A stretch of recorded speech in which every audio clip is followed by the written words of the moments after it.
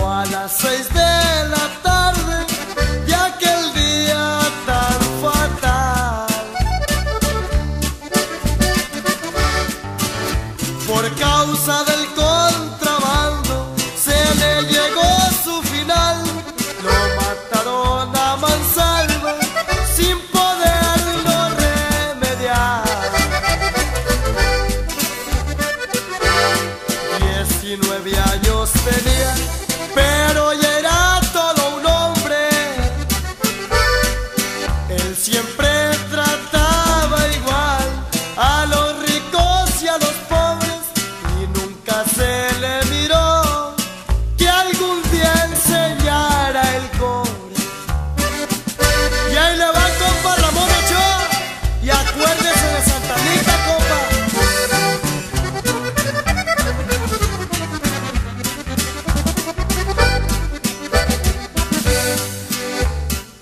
alegre y parrandero